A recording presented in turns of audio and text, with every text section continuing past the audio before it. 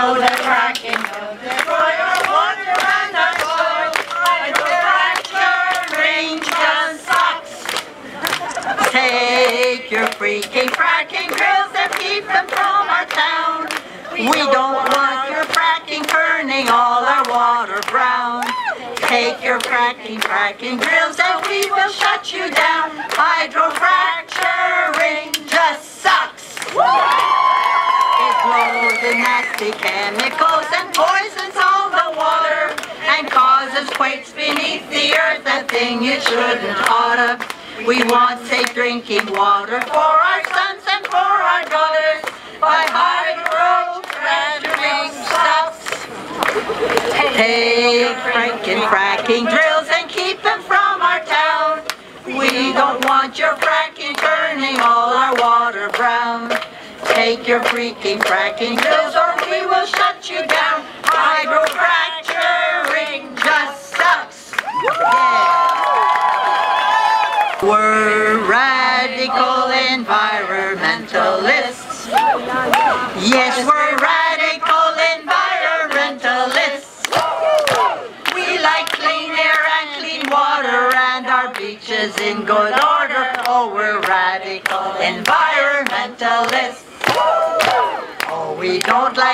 energy from fossil fuels. And we know that fracking kills, we ain't no fools. And we'd rather see those windmills and nuclear plants in our lake shore. We're radical environmentalists. We've seen drilling, we've seen fracking in our time. But we'll stand against that down the. We don't want their gas and oil mucking up our earth and soil, cause we're radical environmentalists. Yes, we're radical environmentalists. When people mess with Mother Earth, it makes us pissed. So get out and tell the others that the earth is still our mother. Then you'll all be true environmentalists. Alors, euh, une des principales caractéristiques de notre, notre rassemblement d'aujourd'hui, c'est quelque chose qui est entièrement, qui a été mis sur pied de A à Z avec des non-professionnels et des gens qui ne sont pas affiliés à aucun groupe de pression, euh, soit pour l'environnement, aucun parti politique. Moi, je ne suis, euh, je ne suis personne et je suis tout le monde. Je suis comme vous.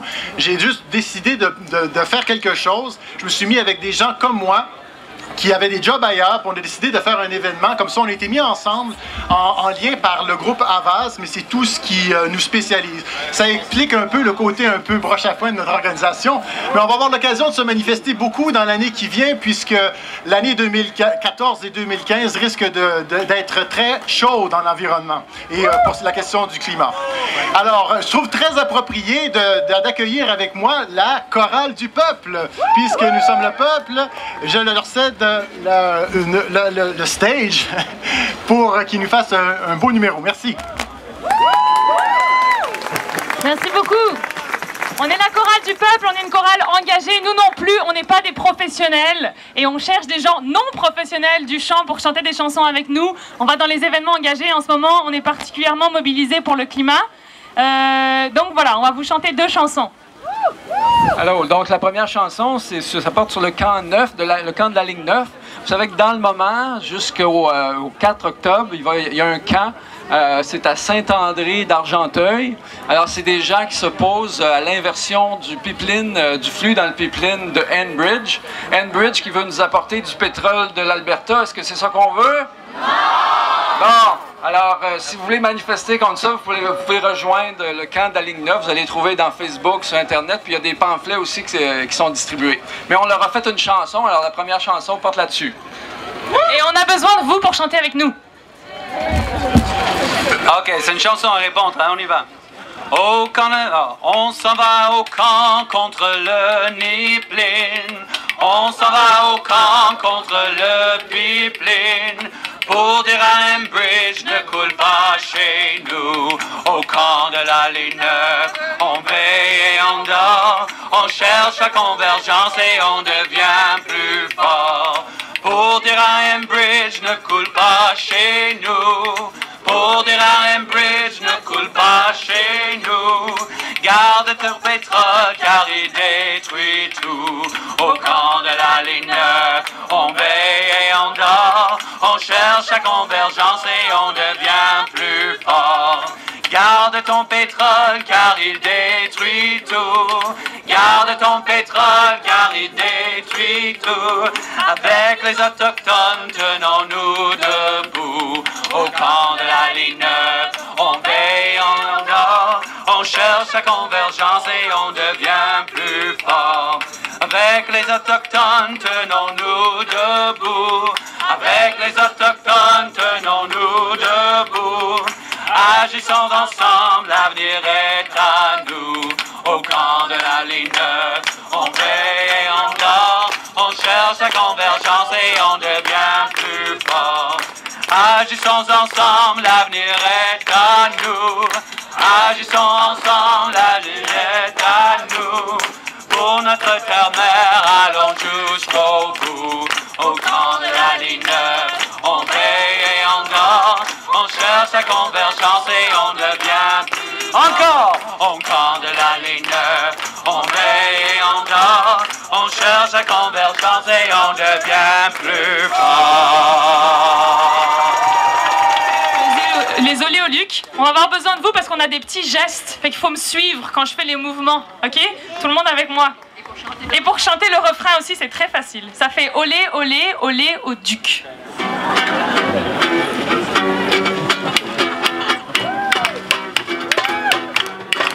Let's go. Olé, olé, olé au duc.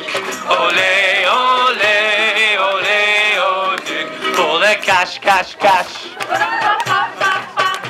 Pour le cash, cash, cash. Badam, bam, bam, bam, bam. Extrait des sables bitumineux pour le cash, cash, cash. Badam, bam, bam, bam, bam. C'est un dégât vertigineux pour le cash, cash, cash. Padam, pam, pam, pam, pam. L'oléoduc transportera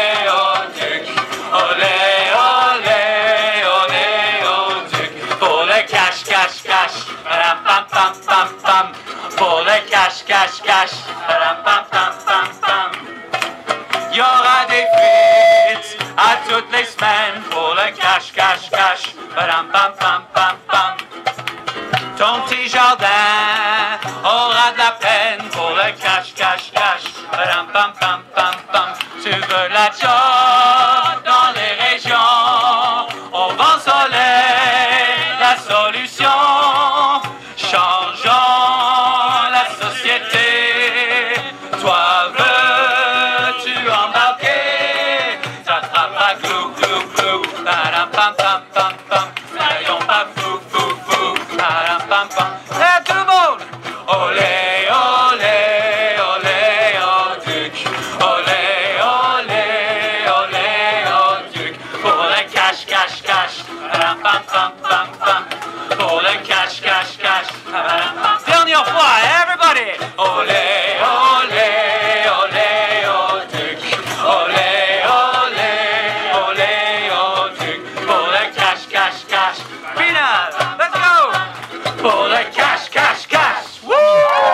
repose sur, de plus en plus sur des données scientifiques vraiment certaines. Je pense qu'on peut dire qu'il y a 90% de la communauté scientifique qui s'entend pour dire que ça va pas bien, qu'il faut faire quelque chose, qu'il nous reste pas beaucoup de temps pour agir. Alors, moi, je suis juste, encore une fois, quelqu'un comme vous. Euh, je vous propose de vous euh, faire rencontrer Madame Catherine Potvin, qui est la titulaire de la chaire canadienne pour le- la l'atténuation des effets climatiques, quelque chose comme ça. Professeur à l'université euh, de McGill, donc quelqu'un, euh, une éminence en la matière, qui va vous adresser un mot et qui va vous dire euh, son message d'espoir. Merci. Catherine Potvin. C'est un peu stressant. Je suis habituée à parler à des élèves, pas à des manifs. Mais euh, pour moi, c'est important. Ça fait euh, 30 ans que je travaille sur les changements climatiques. J'ai pas les cheveux teints, je suis juste chanceuse. Et euh, hier, j'ai regardé le site de People's Climate March, puis j'en avais les larmes aux yeux. Je sais pas si vous avez vu. Il y avait des gens partout. Ça a commencé en Australie hier soir à 9 h du soir, toute la nuit. toute la journée, puis on est ici, puis vous êtes vraiment beaux, puis merci d'être venus.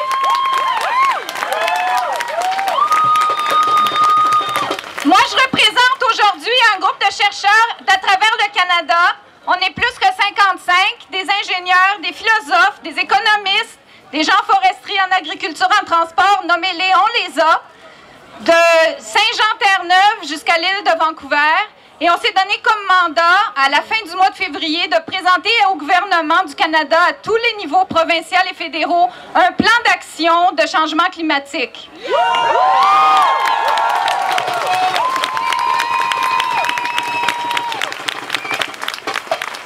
Là, c'est le temps des solutions. Puis, la bonne nouvelle, selon nous, les chercheurs, c'est qu'on a les technologies, on a les cadres réglementaires, on connaît les politiques. Il manque un ingrédient, le courage politique.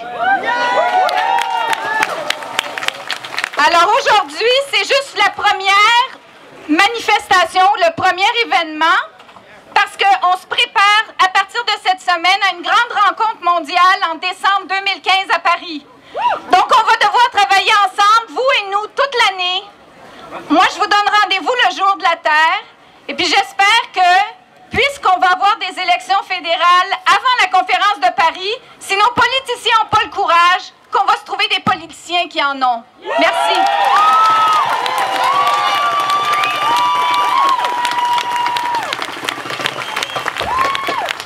L'opinion des scientifiques est tellement importante, leur avis. C'est eux qui nous disent qu'est-ce qu'il y en est, où est-ce qu'on en est, combien de temps il nous reste.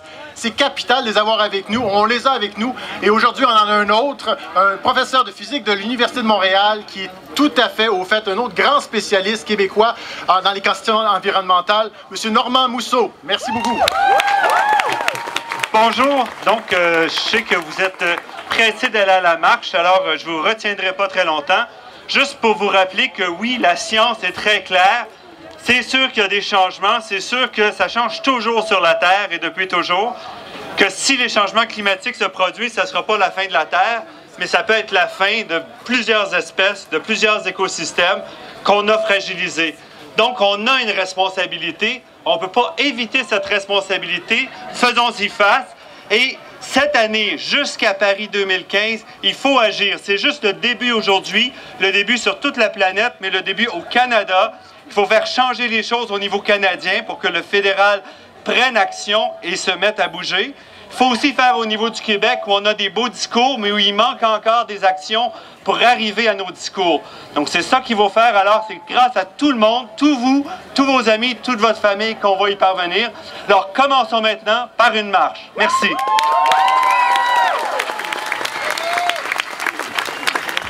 Merci, M. Mousseau. Alors, euh, merci encore d'être là en si grand nombre. Restez avec nous, ça part dans quelques minutes, ça sera pas long. Il y a encore des personnes très importantes, des personnes qui dédient leur vie à, faire que les choses bougent en environnement, dans le climat et dans toutes les autres causes. Et vous connaisserez certainement euh, les, représentants des organismes, que, en on en a deux avec nous aujourd'hui. J'invite d'abord M. Alain Brunel, qui est de l'Association contre la lutte euh, euh, de- la pollution atmosphérique. Monsieur Brunel va vous parler. Merci. Bonjour tout le monde. Merci, Paul-Antoine. Je voudrais simplement rappeler que l'Association québécoise de lutte contre la pollution atmosphérique est là depuis 32 ans. On a mené une bataille il y a 32 ans, c'était contre les pluies acides. On l'a gagné. On a réduit la pollution acide grâce à la mobilisation populaire, grâce au fait que tout le monde s'est levé et a dit on en a assez de cette pollution-là. Et ici, ça fait vraiment très plaisir de vous voir tous parce que c'est ce qu'il faut qu'on fasse, tout le monde ensemble, partout dans le monde, pour dire à nos gouvernements on en a assez. Mr. Harper, we're fed up with your, inaction, with, your hypocr- hypocrisy, with your cowardness. We, we want action, Mr. Harper. Monsieur Harper, nous voulons de l'action.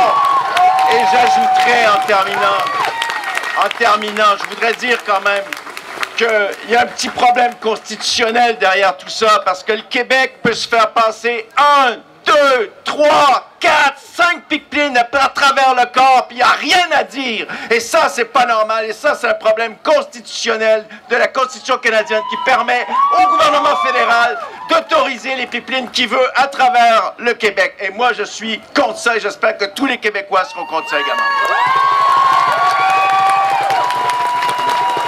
Merci, M. Brunel. Alors, mon prochain, mon prochain représentant vient d'un organisme que tout le monde connaît, Greenpeace. Et euh, je veux juste vous dire que la personne qui le représente aussi aujourd'hui, M. Patrick Bonin, a été un des plus actifs dans la défense des intérêts de l'environnement et du climat. Monsieur Patrick Bonin. Wow! Bonjour tout le monde, bonjour Montréal, merci! Je pense qu'il faut dans un premier temps que vous criez très fort et félicitiez les organisateurs bénévoles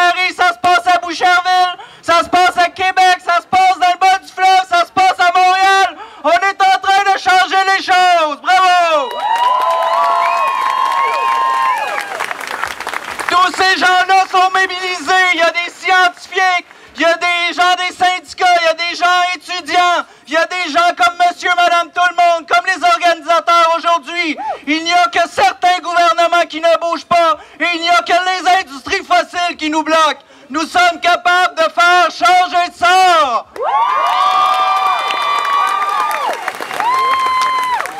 Et pour changer, il faut s'adresser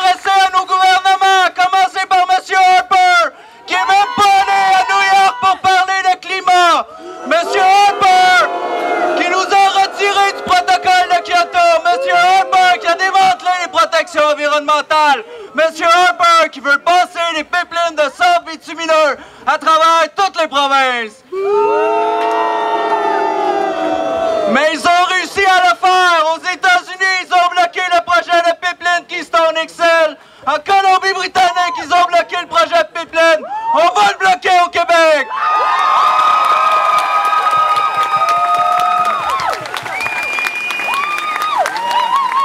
Et surtout, oubliez pas qu'il n'y a pas juste M. Harper dans cette histoire-là.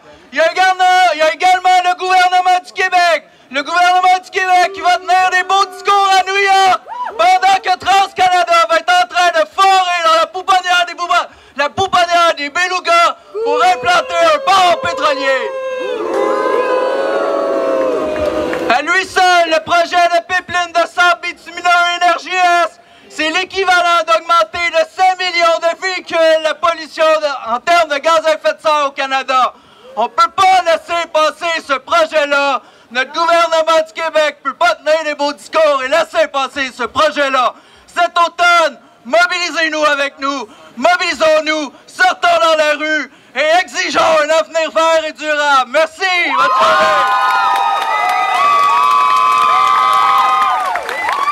Merci beaucoup, Patrick. Alors, on est à veille de se mettre en marche. Dans quelques minutes, on se met en marche. Moi, la raison pour laquelle j'ai décidé de, m'impliquer, c'est parce que j'ai une conviction. La seule la conviction que j'ai, j'en ai pas beaucoup, mais celle-là, je la tiens très près de mon cœur, c'est que si les choses vont bouger, ça dépend de personne, ça dépend du peuple. C'est sûr que c'est ça. Ça bougera pas si on descend pas, si on ne fait pas valoir notre, notre voix. Parmi les groupes qui ont jamais hésité à émettre, à parler fort, je veux saluer les artistes qui étaient très, très à pied d'œuvre lors du, jour, du jour de la Terre en 2002. Et j'ai aujourd'hui, je suis très content d'accueillir des représentants des artistes pour la paix. J'ai avec nous Madame Julie Richards et Guylaine Marois. Merci, allô tout le monde. Merci d'être là en si grand nombre. En cette journée où les gens un peu partout sur le monde, sur la Terre au complet se lèvent pour mieux respirer et pour que nos enfants et les enfants de nos enfants respirent mieux, c'est aussi la journée internationale de la paix décrétée par les Nations Unies. Et les artistes pour la paix dont je fais partie, donc artistes pour la paix de cœur, nous sommes de, de- des gens de cœur et aussi de conviction. On, aime et on, souligne euh, tous les, les propos et les vœux des Nations Unies. Donc, euh, cet rassemblement pour, euh, pour l'environnement est aussi un rassemblement pour la paix. Est-ce que vous réalisez que vous faisiez un immense group hug? Ça fait du bien à la tête, au cœur et tout, de se rassembler, de sentir qu'on est tous ensemble. C'est comme un, un câlin collectif extraordinaire aujourd'hui. Alors bravo, merci à tout le monde, merci d'être là et j'encourage les artistes, les artisans de continuer à créer et nous émerveiller parce que nous croyons, les artistes pour la paix, nous croyons que l'art est déjà facteur de pacification. Voici Guylaine Marois, euh, voici euh, Pierre, euh, oui, vice-président des artistes pour la paix, notre grand pianiste Pierre Jasmin. Bonjour. Juste souligner la présence dans la foule de Karel Méran de la Fondation Suzuki, qui fait un travail fantastique. Et des politiciens qui sont pas d'accord avec Harper. Il y a Stéphane Dion avec son chien Kyoto. Il y a Manon Massé de Québec solidaire qui est là. Bravo Manon. Ah, Mario Beaulieu, on me signale du Bloc québécois qui est là-bas aussi. Voilà. Euh, juste pour dire que si vous allez sur notre site desartistespourlapaix.org, vous allez voir à quel point on est derrière M. Ban Ki-moon, le secrétaire général de l'Assemblée, donc générale des Nations Unies, merci, et euh, avec son objectif, dans le fond, de d'essayer de conscientiser les leaders pour le justement le, contre le réchauffement de la planète. Mais c'est vous, par votre présence ici, qui faites cette conscientisation aussi. Pas seulement la foule qui est à New York en ce moment, c'est des dizaines et des dizaines de milliers de personnes. Je laisse le dernier mot à Guylaine Marois, notre présidente. Merci d'être là en si grand nombre. Euh, je dois vous dire, vous avez hâte d'aller marcher. Nous aussi, c'est important ce que vous faites là. On était pendant cinq ans, on a milité pour la fermeture de Gentilly avec plein de personnes par- parmi vous. Il y en a qui, qui étaient là aussi. C'est important. Ce qu'on fait, ça a un impact. Alors, ce qu'on fait aujourd'hui, ça a un impact. Et malgré, des fois, on a des revers, ça prend des années. Dans, les cinq ans où on a milité euh, pour la fermeture de Gentilly, on a été découragé plein de fois, mais on a continué et ça a fonctionné. Alors, allons marcher. Merci.